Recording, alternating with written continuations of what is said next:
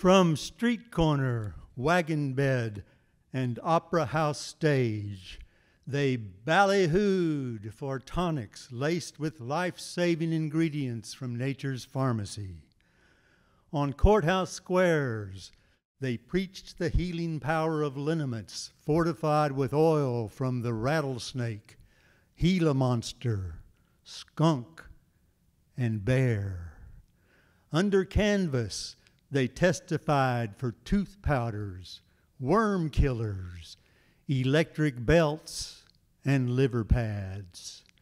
These were the pitch men and women of the American Medicine Show. Costumed as Quakers, Indian scouts, silk hatted professors, and figures of far eastern mystery, they were colorful, imaginative individuals who took advantage of the vast stage for self invention availing all in the twilight years of the American frontier. They had names like Yellowstone Kit, Diamond Dick, Nevada Ned, Wild Harry, Princess Ninita, Dakota Jack, Rolling Thunder, Oregon Charlie, Kansas Charlie, Texas Charlie, and Dr. Blue Mountain Joe. Their personages were spectacles of hair, hats, buckskin, jewels, and glittering raiment of all manner and description. The medicines they sold bespoke a showiness all their own wizard oil, kickapoo worm killer, Kiowa pile salve, warm springs consumption cure. As for the rest of the show, medicine showman Nevada Ned, who had never been within a thousand miles of Nevada, noted in a 1929 Saturday Evening Post memoir that the troupes presented full evenings of drama, vaudeville, musical comedy, Wild West shows, minstrels, magic, burlesque, dog and pony circuses, not to mention Punch and Judy, pantomime, movies, menageries, bands, parades, and pie eating contests. Add to that list the occasional ladies' nail driving contest and the gentleman's longest feet competition, and you can begin to imagine the Main Street exoticism of the showbiz niche that flourished from the end of the Civil War to the television age. Nevada Ned's memoir also spoke to the flamboyant fashion sense of many medicine showmen. I added $10 gold pieces as buttons on my velvet and corduroy jackets, he wrote of an 1886 performance outfit and $5 gold coins as buttons on my fancy vests, $3 gold pieces as cufflinks. Around my neck, I wore a chain of half eagles, meeting in a $50 gold slug. To relieve this Quakerish simplicity, I wore $3,000 worth of real diamonds and two gold mounted 44s. My moustache was long and prettily waxed to points, my clothes foppish in the extreme. He added that the crowd who followed him as he strolled through New York City in the get up could not decide whether to hoot or cheer. I'm currently working on a new, heavily illustrated book about medicine shows, and before we track down the Diamond King, I thought we'd take a quick spin through a small selection of the images that I have gathered, then they will set the stage for this intriguing niche of American healing showbiz history. Here's Nevada Ned on the right there. Uh, when he was a pitch man with the Kickapoo Indian Medicine Company, one of the biggest patent medicine companies. One of the many Kickapoo outfits on the road None of these Native Americans, however, were actually Kickapoos.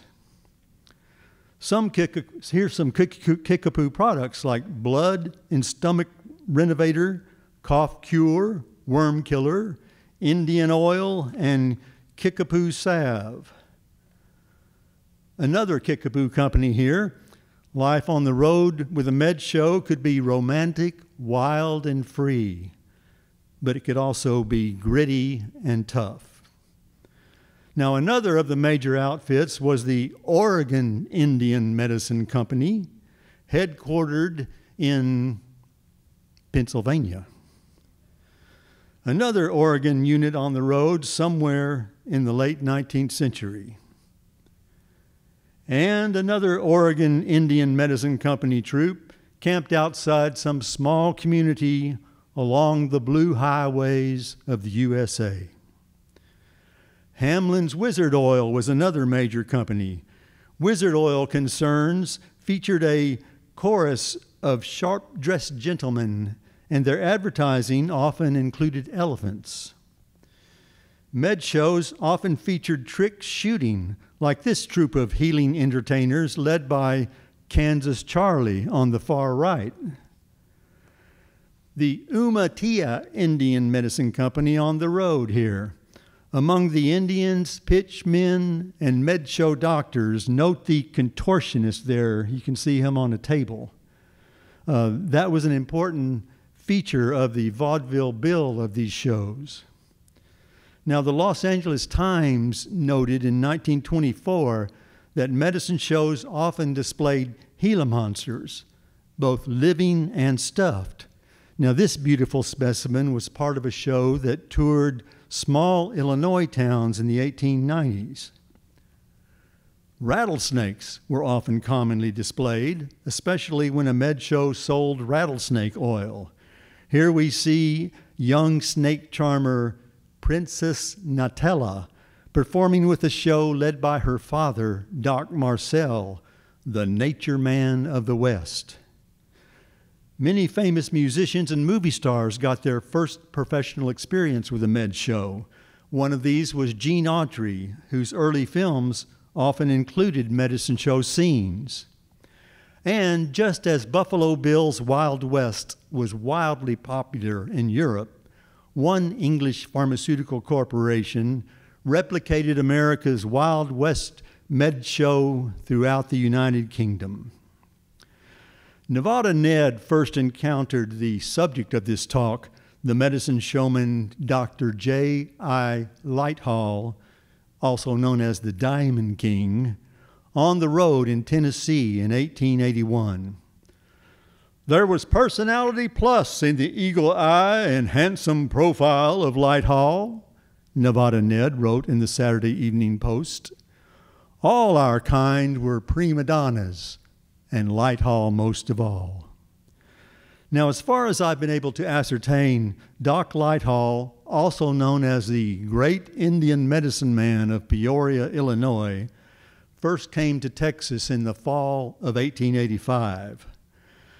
Uh, his troupe had an especially successful stand in Denison, up here on, on the Oklahoma border.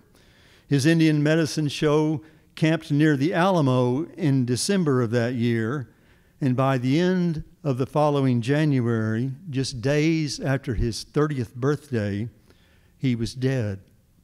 He reportedly succumbed to smallpox contracted from the San Antonio crowds at his show on Military Plaza. Now, someone in Bexar County or Bandera County area saved one of the Diamond King's calling cards and the Frontier Times Museum in Bandera owns and exhibits the card today. We see it here. And in the 1920s, decades after Lighthall's death, museum founder J. Marvin Hunter wrote in his Frontier Times magazine that many people in San Antonio still remembered how the Diamond King electrified the Alamo City. According to the sketch of his life in his 1882 book, The Indian Household Medicine Guide, James I. Lighthall was born in Tiskilwa, also called Indiantown, Illinois, in 1856. I have a copy of the 1883 edition of the book here if anyone would like to see it after the talk. Lighthall wrote that he left home at the age of 11 with a youthful ambition to try his fortune in the West. Reportedly, the boy checked, trekked to Kansas and the Indian Territory, where his one eighth Wyandotte heritage helped him form a warm attachment for the Indians. By the time Lighthall was born, according to one source, the Wyandotte people numbered only six to seven hundred. But the future medicine man claimed to have developed a keen interest in the vegetable kingdom at an early age, with a natural gift for botany and the herbal kingdom. Thus, he was especially drawn to the Indian doctors from the fact that they were all the time gathering roots barks, leaves, and flowers. He apprenticed with the native healers, according to the sketch, and assisted with their gathering of nature's remedies. Lighthall claimed to have spent 13 years gathering knowledge about the Indians' herbal medicine, eventually wandering through Wyoming and other territories. In Minnesota, he wrote, he fell in with a physician named Dr. Neff. Encouraged by Neff, Doc Lighthall went into business. First, by selling his Spanish oil or king of pain, blood purifier, dentifrice, and Indian hair tonic. Afterwards, treating all chronic diseases according to the Indian theory, by which he has cured thousands of cases. Though a Dr. Neff did later travel with the Diamond King troupe, Another version states that Lighthall's medical showbiz career was sparked by an encounter with the old original Indian doctor, Doc McBride, as savvy a man as ever backed a bobtail flush. This is the only image I've found of McBride and his new discovery, improved king of pain or commercial tea. I can't read the small fuzzy print in the advertisement except the part that claims the dead restored. As the Peoria Journal told the story, McBride was then on his last legs. Poker, whiskey, and women had brought him in poverty to the verge of the grave. Lighthall was shrewd enough to see that there was money in Doc McBride's business if he only took care of himself and as he already had the long hair and cowboy garb and wild western aspect generally, he was pretty well equipped for the enterprise. On June 11, 1877, he made his debut as a big medicine man in Brownsville, Minnesota. His gross receipts for the first day were 50 cents. In another town on the next day, he made $12 and he made money rapidly ever since. Other sources indicate that he didn't break into the medical entertainment business until 1880 at the age of 24. But the 1877 date for his med show debut is confirmed in an 1885 Lighthall publication, The Remarkable Career of Dr. J. I. Lighthall, King of Diamonds. In time, Doc Lighthall became a wildly popular subject for newspaper reporters, and I've harvested tens of thousands of words about him from vintage newspapers. I won't be saying all of those words tonight. To date, the earliest account of his med show performances that I have found is from April 1879 and describes an appearance in the town of Burlingame, Kansas. Our people have been quite highly entertained for two evenings past with music, lectures, and ventriloquial performances given on the street by a Dr. Lighthall, assisted by his wife and a gentleman. In appearance, the doctor very much resembles Buffalo Bill, being six feet in height, with long flowing hair, eagle eyes, and expansive brow. I don't, I don't think he looked like Buffalo Bill, but maybe you had to be there. In the following year, 1880, a Litchfield, Minnesota report covered the elopement of a 16 year old girl with one of the doctor's performers.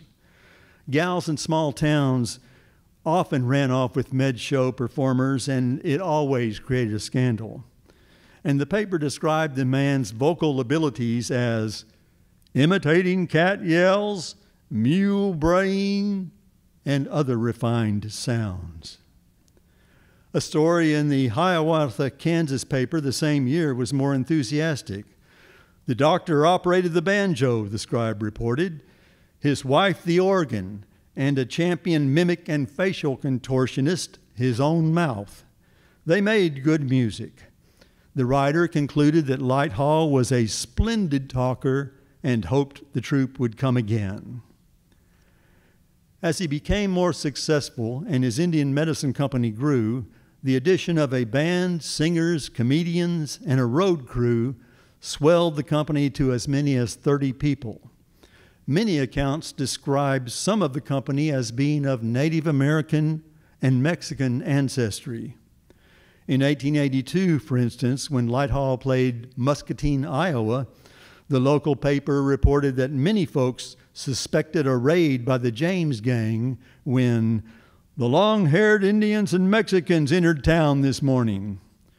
Relieved that it was just Doc Lighthall, the scribe noted that we are promised some excellent street entertainment during the doctor's stay here.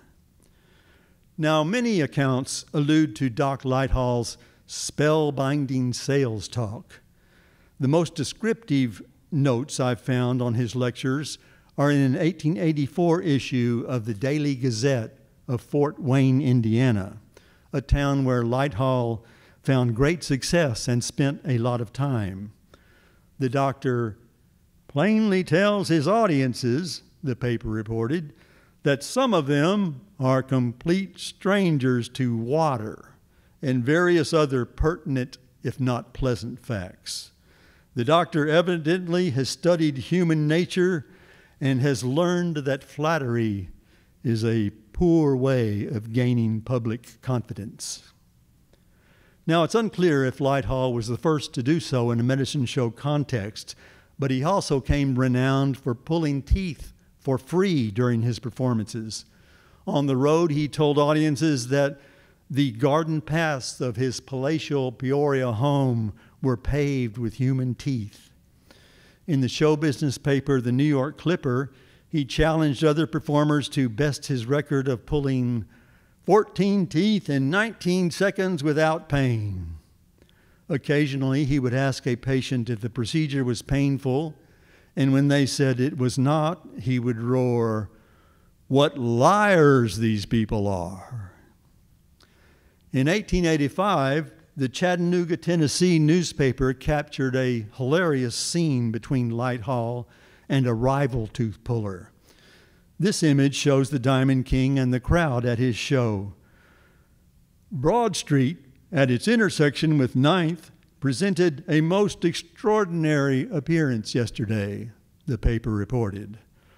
Dr. Lighthall, an Indian doctor, has taken his stand there and has been giving an extraordinary exhibition of dentistry. Yesterday, a French lady in a similar line of business stationed herself near Lighthall. The two were not 25 feet apart and each had their own band. Dr. Lighthall is attired in a suit literally studded with diamonds. The entire display valued at $150,000. The lady is dressed as an Indian princess and she also makes a gorgeous display of diamonds. There is bitter enmity between the two. And yesterday, a crowd of fully 2,500 witnessed the extraordinary scene. The two mounted their stands and began to operate on teeth. They soon began to quarrel and finally concluded to drown each other out. Whenever Lighthall would begin to address the crowd, the French ladies' band would start up, and whenever he spoke, she spoke, Lighthall's band would be given the signal. They quarreled the entire afternoon. When either would pull teeth, they would pitch the molars toward the other, and the crowd would yell. Dr. Lighthall has wonderful skill in extracting teeth, pulled several hundred during the day. A Cincinnati reporter interviewed Doc Lighthall around that time and asked about a pin Lighthall wore that reportedly contained 179 stones, one weighing six carats. The medicine man said the piece had originally been the final order of a St. Louis diamond broker. It is said that he went crazy, observed the doctor, and I guess he did, for no sane man, unless he was as eccentric as I am, would order, much less wear, a bauble of that description. The reporter described Lighthall's diamond encrusted sombrero, his diamond vest buttons, four giant rings of topaz and sapphires, massive gold chain, and other med show bling. Lighthall professes to have been fond of jewels ever since he was a boy, the scribe noted.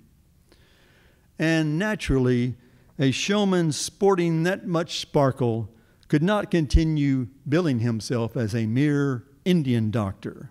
So, in late July 1885, the Decatur, Illinois newspaper announced that Doc Lighthall had upped his game so much that he would henceforth be known on the road by the regal moniker of the Diamond King. The company left St. Louis on November 9th of that year, 1885, traveling by train. In Texas, they stopped for a few weeks in the Red River town of Denison, where the Sunday Gazetteer reported that our people are getting a little delirious over the Diamond King. He is all the rage, and the excitement is not confined to any particular class. He has taken the city by storm. Decades after his visit, a Denison reporter reminisced. It was said that the doctor worshiped invisible spirits and would talk to them the same as in the flesh. And though a Dallas Mercury reporter later wrote that he astonished Big D, the show spent less time in Dallas and Fort Worth, and by December 20th, the troupe was camped near the Alamo. An announcement in the San Antonio Daily Express introduced them. Tomorrow afternoon, the Diamond King will pitch 40 tents at the corner of Houston and Nacogdoches Streets. The camp will remain several weeks, and the public are cordially invited to visit and inspect the greatest Indian medicine company ever organized. Teeth will be extracted by the Diamond King daily, free of charge. On Monday night, he will appear on one of the plazas wearing $300,000 worth of diamonds, the largest collection in the possession of any one individual in the world. The troupe paraded down Commerce Street in San Antonio on the way to Military Plaza and the Diamond King was riding in what Vic Daniels described in the San Antonio Express as a gaudy and highly attractive wagon drawn by a splendid team of four dapple horses, dolled up in more gorgeous finery than any circus animals. Doc Lighthall drew a crowd of followers to his wagon by tossing out handfuls of nickels. Other reports say the medicine man showered the crowd with quarters or even silver dollars. From his hand, wrote J. Marvin Hunter, there sprang a glittering stream. In a moment, it tinkled on the pavement. There was an instant of astonished stillness, and then the crowd threw itself bodily into a squirming, fighting mass onto the offering of the Diamond King.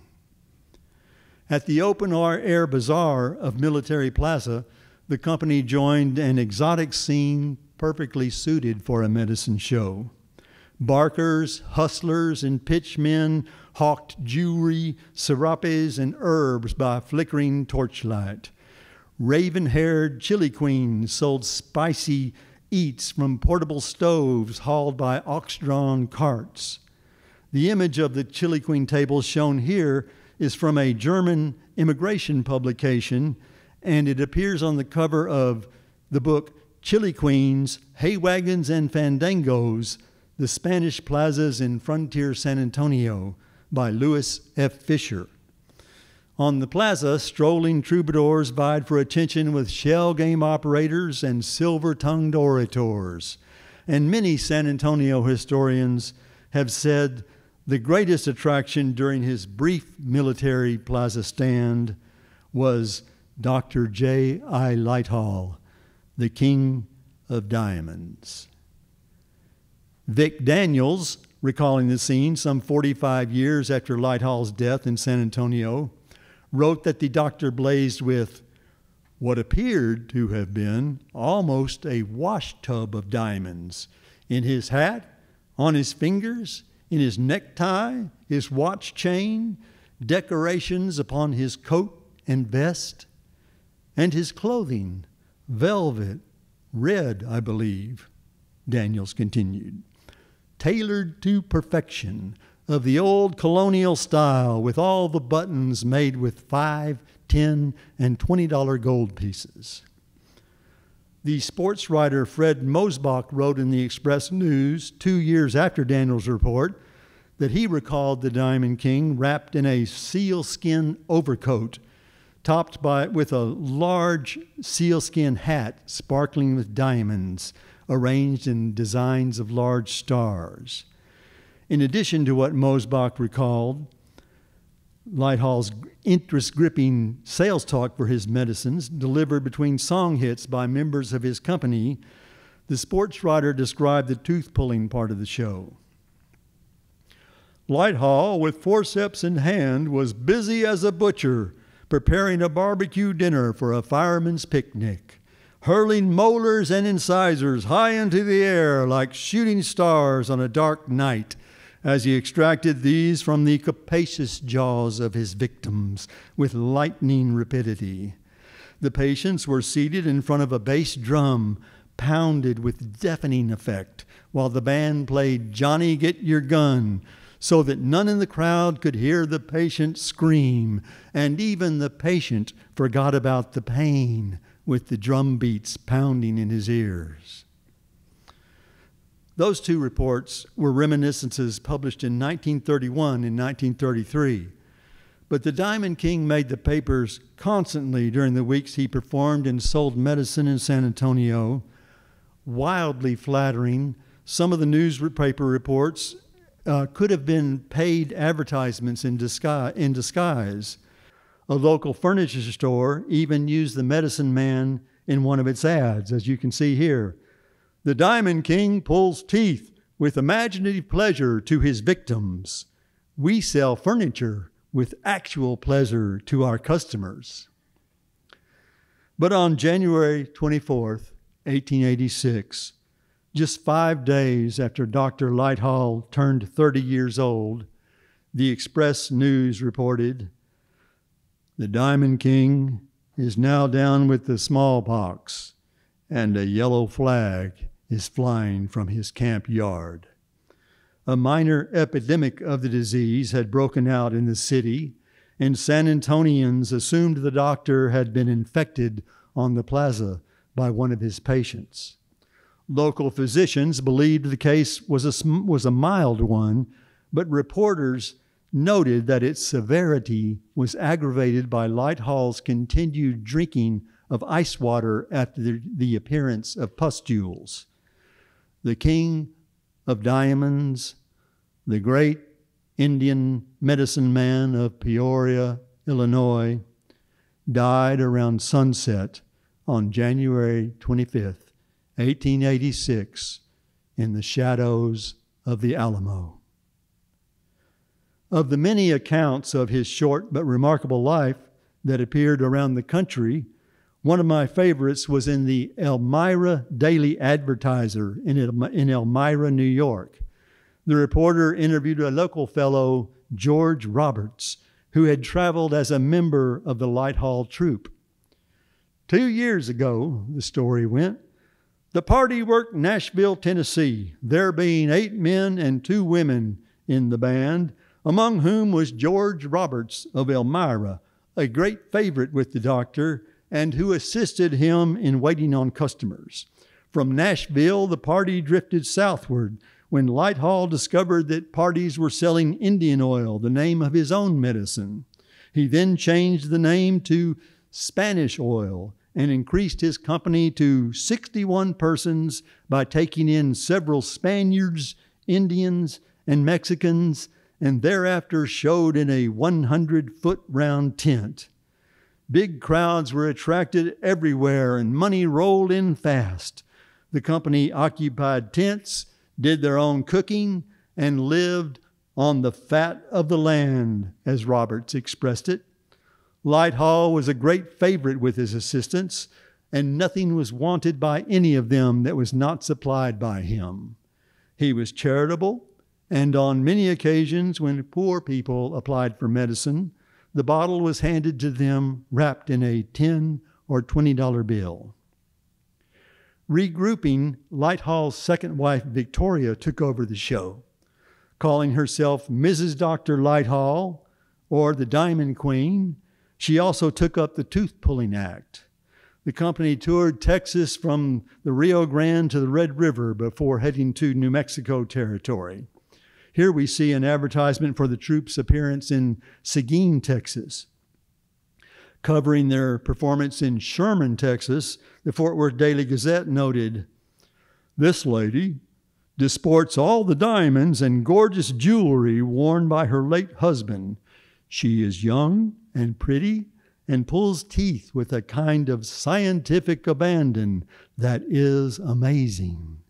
It is said that lots of young men go up to have their teeth pulled out, not because they ache in the least, but simply to feel the magic touch of the fair queen's fingers.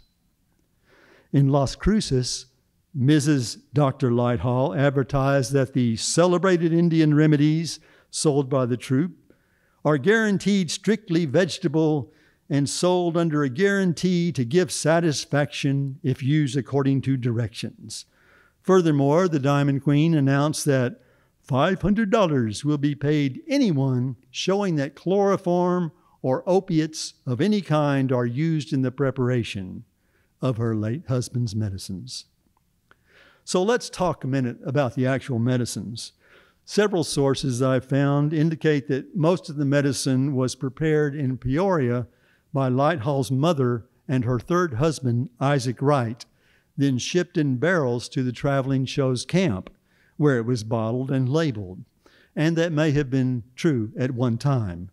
Documents in Lighthall's probate file, however, confirmed that at the time of his demise, his medicines were prepared, mixed, bottled or boxed, and supplied to him by the firm of Allaire Woodward and Company of Peoria, Illinois.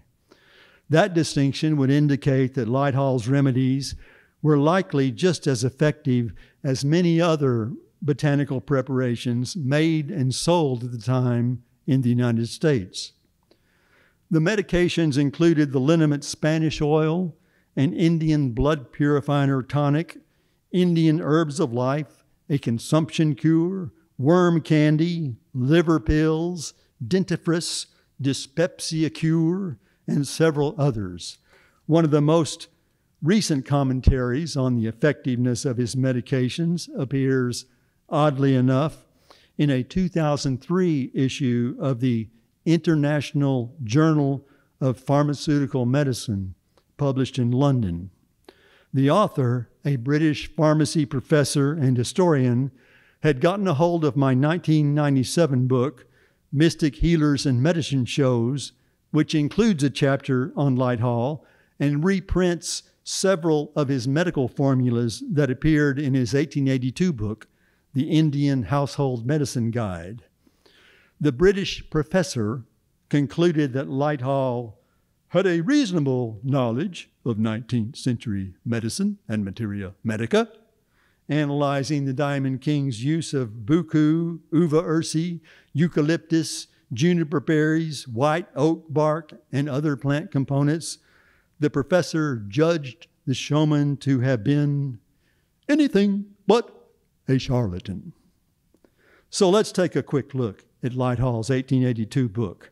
That first edition was co authored with Dr. W. O. Davis, an 1879 graduate of the Eclectic Medical Institute of Cincinnati.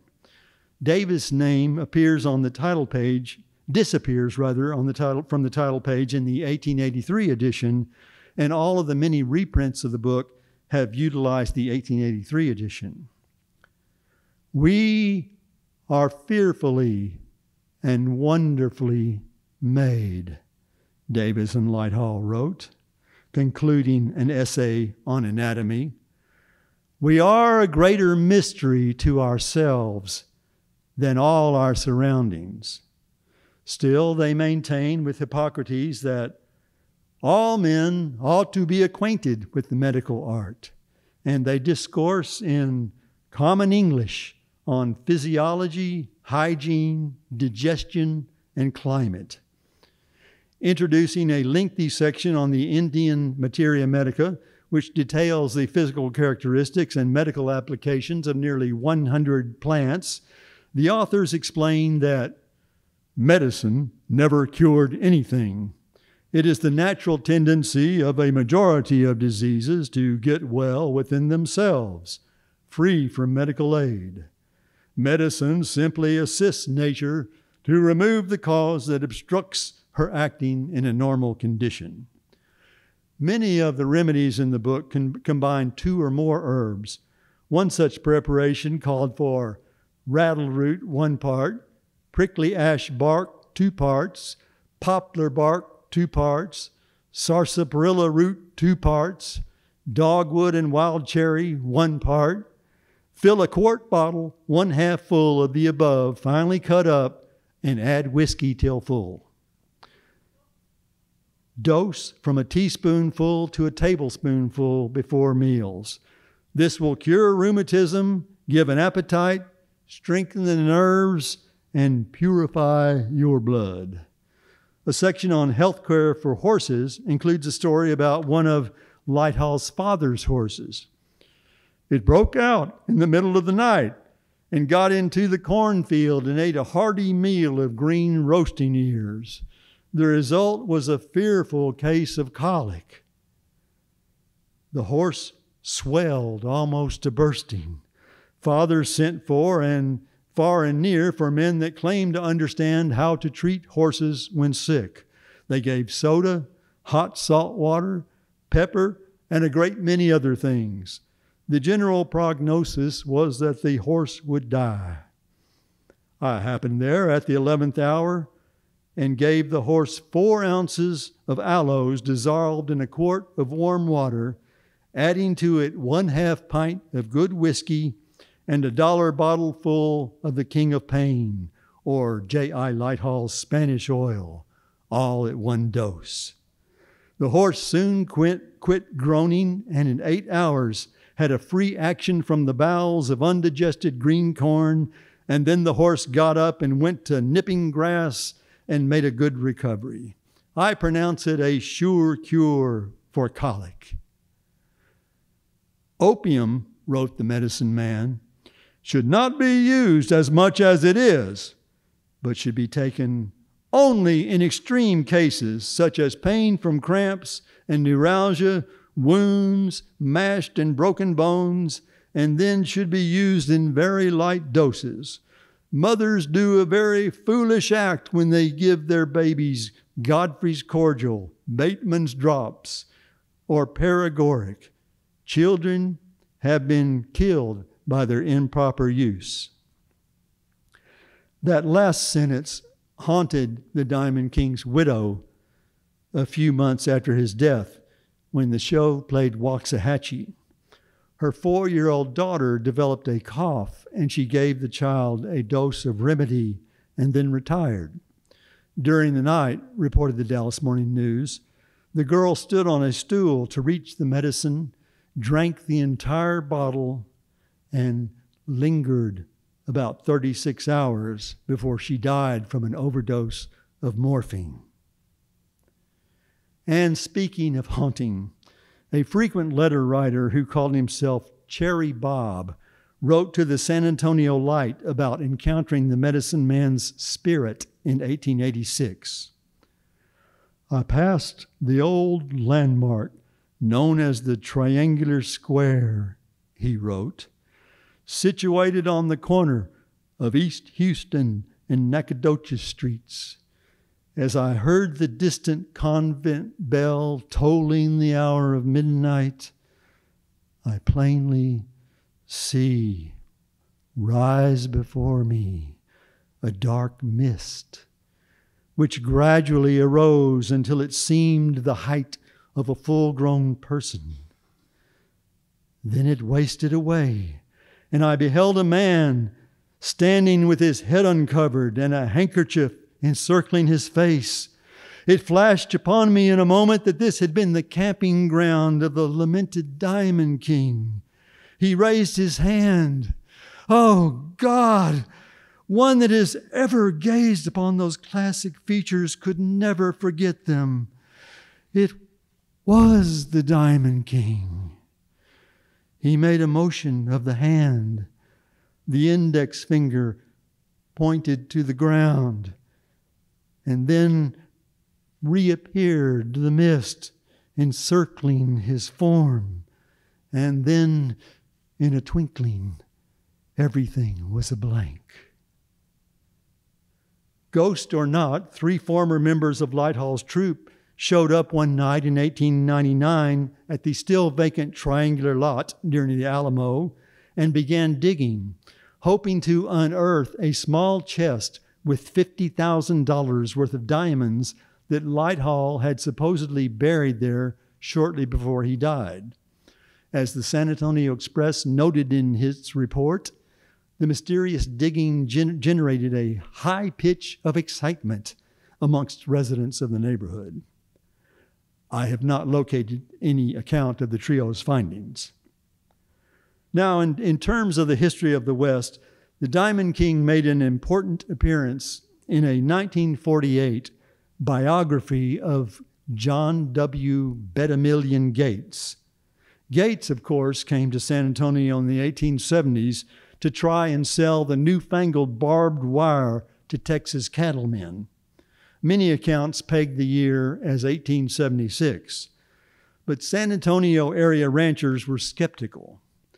According to the two authors of Gates' biography entitled Bet-a-Million, Gates got the idea to put on a show to prove the utility of barbed wire as he stood at the window of the hole in the wall saloon watching Doc Lighthall perform on Military Plaza. Gates set up a corral in the plaza, ran longhorns into it, and proved to skeptical cattlemen that the wire fence would hold the cattle. I'm awaiting some documents from a library in Worcester, Massachusetts, but it, that may prove or disprove this claim. But it has always seemed to me, and I still believe at present, that the author, authors of this book just made up the med show connection. For one thing, Doc Lighthall wasn't known as the Diamond King until the mid 1880s. And for another, I found zero evidence that he was in San Antonio before 1885. San Antonio historian Lewis F. Fisher interviewed a unearthed rather a 1910 interview uh, with a Gates associate that placed the corral demonstration on Alamo Plaza instead of Military Plaza and placed the event in 1876, a year before the earliest date on which Lighthall is known to have become a healing thespian. But if the story was true, it would crown the Diamond King as the medicine showman who fenced the West. And I'll end tonight with a 1910 reminiscence of a Denison, Texas newspaper reporter. Though he gets Lighthall's name wrong, uh, this again was uh, 25 years after Lighthall was there. Uh, but th- so though he, he gets Lighthall's name wrong, it is still an interesting account of the Diamond King's time in the Red River town. The chief of all the medicine fakers in Denison was the celebrated Dr. Lightfoot.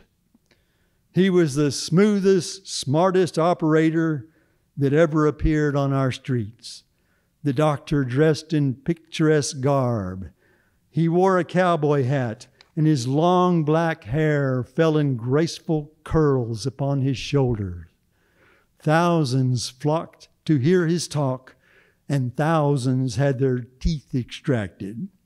The people were captivated by him, and the town went wild.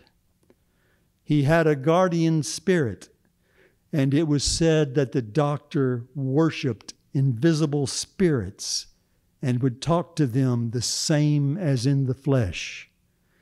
Dr. Lightfoot was a man of commanding presence, and many ladies in Denison thought him so handsome and fascinating that they opened their doors for him. That was wonderful. Uh,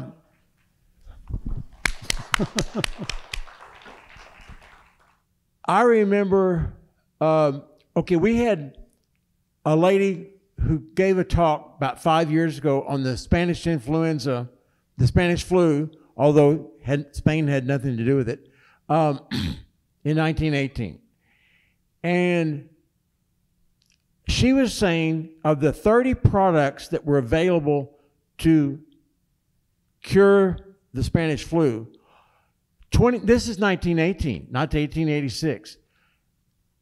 Of the 30, 29 of them were just as hokey as some of these formulas that some of these folks were selling. One of them kind of came close.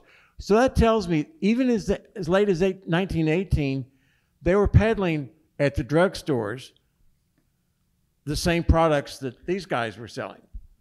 Any comment? Well, you know, even even in the 1960s, you could buy stuff off the counter that had uh, funny stuff in it. Uh, I mean, I, I, remember me and my compadres experimenting with things like that that we would buy from a drugstore that would, you know, make you a little funny.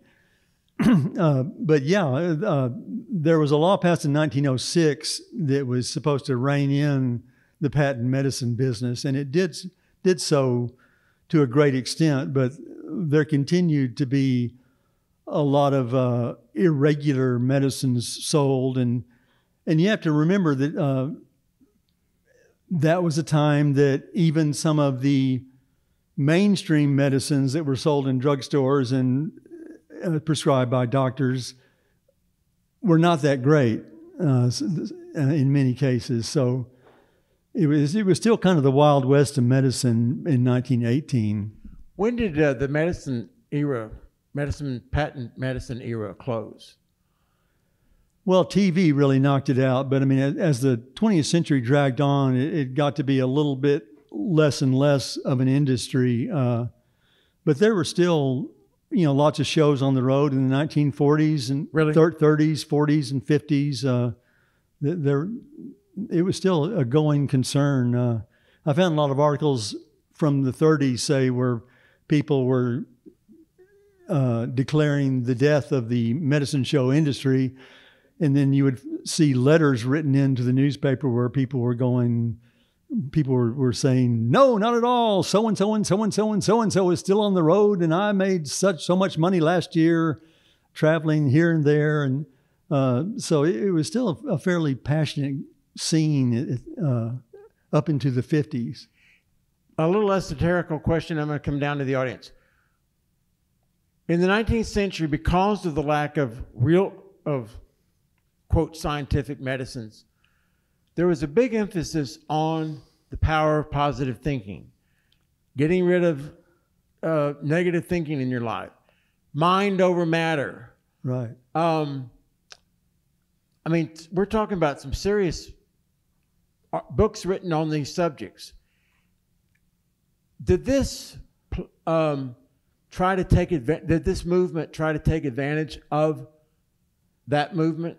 I think it did very much. Uh, uh, I feel like the, the shows themselves offered a placebo effect to lots of uh, rural towns and small, out of the way places that didn't have much in the way of live entertainment.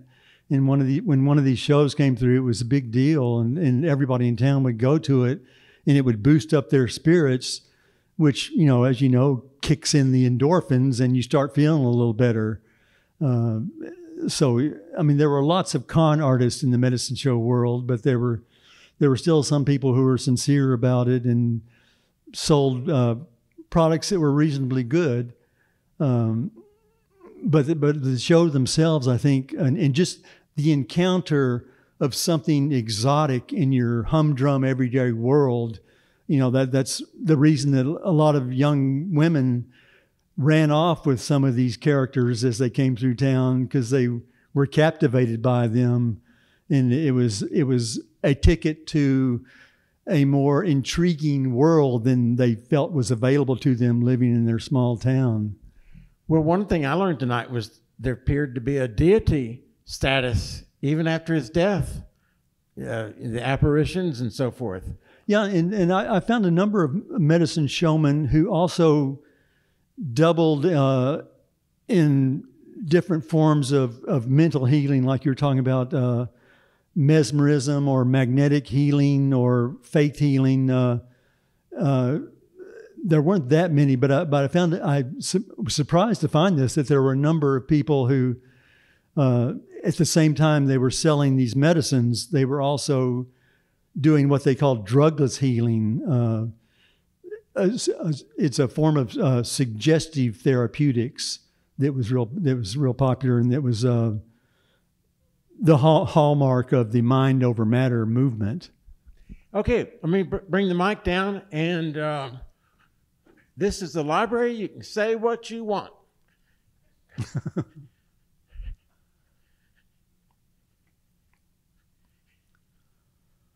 Questions, comments, or protests, all are welcomed. This is, I consider uh, Mr. Fowler the, the Frank Dobie, Mody Boatright, and uh, William A. Owens of our generation. You have a question? Wait a minute, let me bring the mic to you. First of all, thank you so much. Very entertaining, very informative. Well, thank you. Thanks for coming. You know, when I think of medicine men, I always just picture them in a single wagon. I think it was very enlightening for me to hear you say that they had this huge show going on and everything. Can you maybe have any thoughts on how it got to be that big and how that started? I'm guessing mo- more marketing than anything, but I just always pictures like a single wagon with a single guy yeah, they, they ranged all the way from uh, uh, one wagon shows that traveled just within a you know 50 mile radius of where they lived, uh, all the way up, uh, increasing in the number of performers and the number of vehicles they had in their troupe, all the way up to uh, companies that ran by train that would fill up a train, and then there was companies with uh, automobiles, you know, with 10 big automobiles in, in, in the uh, troupe that would, that would uh, carry a large number of performers. So it was, it was, uh, it was quite a variety of, of things. Qu- good question. Thank you. Questions? Okay.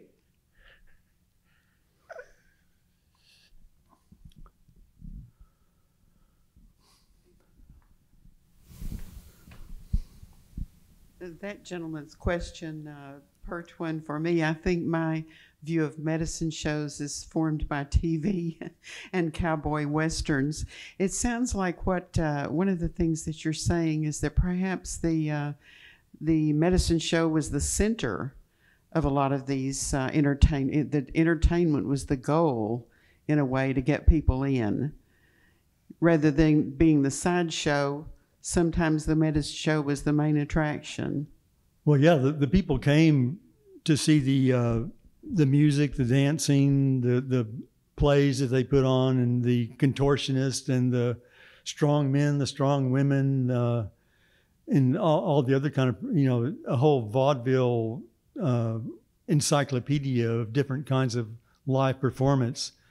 Uh, and the the medicine lectures and the health lectures were just kind of a side thing that was thrown in there, and uh, sometimes they were enjoyable, sometimes they weren't. That people would just kind of tolerate them.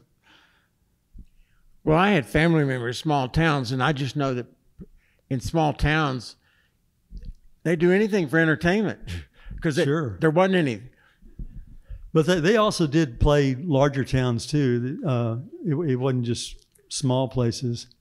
Well, 2,500 people is a lot of folks back in 1986. Yeah, that that could be an exaggeration. Of course, this is Texas. Questions, comments, protests.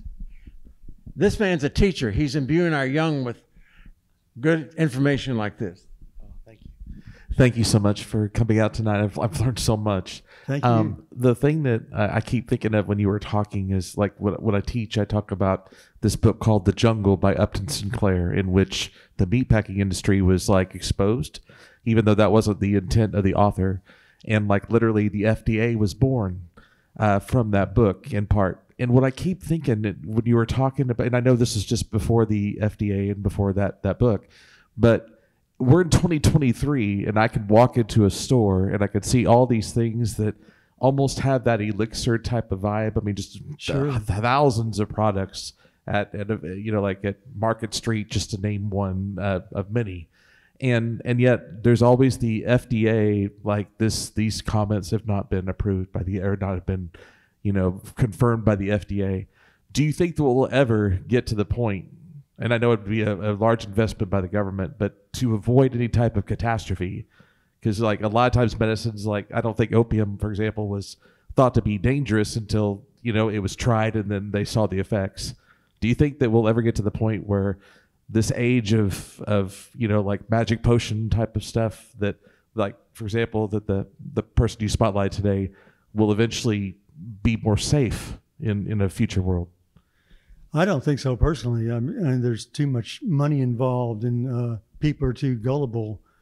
Uh, I mean, television advertising for medicines today is everything they're saying absolutely truthful? And probably not. uh, so I, I think that, I think this is going to be with us as long as human beings are human beings. Uh, I mean, things have gotten a lot better. Obviously, medicines that you buy in the store now are much, much, much better than they ever were. But there's still a lot of wacky stuff being sold. Back here. Yes. Hello. Um, I was born and raised here in the, in Dallas, and as a kid, like we were 11 or 12 years old, and we would be given free tickets to go to the State Fair of Texas. And my mom always told me, "Don't you go in any of those those sideshows and this and that and the other." Of course, my sister and I, we always just big eyed and everything. And it seems to me like they were had medicine men at these state fairs. Uh, I don't know whether they were, you know, to, but they also had uh, freak shows and everything else. It was all mixed in together. So I, could, I, I don't know whether you touched on that or not. I didn't hear anything about that. Did they do this in, at like state fairs? Somewhat. Well, yeah, I think probably, surely there were some medicine shows or performing at state fairs uh, uh, at, at different times, but uh, some medicine shows did have displays that they would put up. Um, uh, often they they would they would have uh, you know biological oddities and specimens in in uh, glass and you know preserved in alcohol, uh, just like the that uh, Gila monster, the stuffed Gila monster that I showed there a little while ago, and, and uh, oftentimes if if somebody, especially if somebody was selling rattlesnake oil, they would have a stuffed rattlesnake on on their set or very frequently live rattlesnakes.